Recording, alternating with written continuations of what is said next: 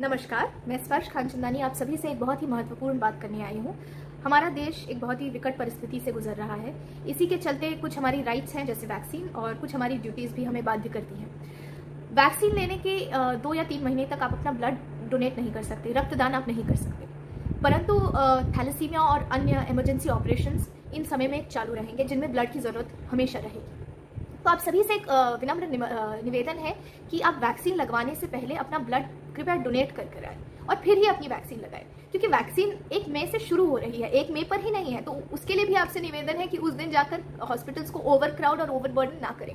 ज़िम्मेदारी से अपने वैक्सीन और ब्लड डोनेशन को इस तरह टाइम करें कि आप दोनों रिस्पॉन्सिबिलिटीज़ को निभा पाए। मैं आपसे ये आग्रह, इस उम्मीद में करती हूँ कि आप सभी जिम्मेदार बनेंगे। मैं जब अठारह साल की हुई, तब तो कोई पैंडेमिक नहीं था। फिर भी मैंने अपना बर्थडे ब्लड डोनेट करके ही मनाया।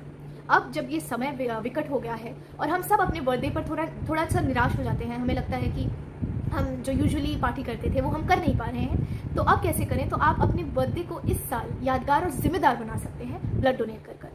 जानकारी के लिए आप मुझे संपर्क करें। अपना अट्ठारहवा बर्थडे आपको एलिजिबल करता है। आप अपना ब्लड डोनेट कर सकते हैं। तो आप अपने अट्ठारहवें जन्मदिन से ही अपना ब्लड डोनेशन का ये जो पुण्य काम है, आप इसे शुरू कर सकते हैं। इसके लिए आप प्लीज़ मुझे कॉल करिए। कोई भी जानकारी होगी, मैं आपको अवश्य दूँगी। इसी के साथ साथ एक और आपसे नम्र विनंती है कि अनफॉर्चुनेटली अगर आप कोविड पॉजिटिव हो जाते हैं तो आप ज़िम्मेदारी से अपने सारे प्रिकॉशंस लीजिए और जब आप रिकवर हो जाए तब आप अपना प्लाज्मा कृपया डोनेट करें। 28 दिन के अंदर अंदर डॉक्टर से कृपया बात करें, इसके लिए जानकारी और लें, लेकिन ज़िम्मेदारी से प्लाज्मा भी डोनेट करें। इस विकट परिस्थिति में आपसे दो लोगों की बहुत हेल्थ केयर सिस्टम में ज़रूरतें बनती हैं।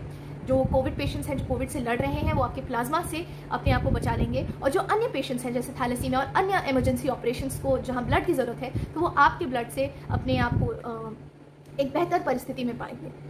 आप इस पुण्य काम को ज़िम्मेदारी से करेंगे इसी उम्मीद के साथ धन्यवाद।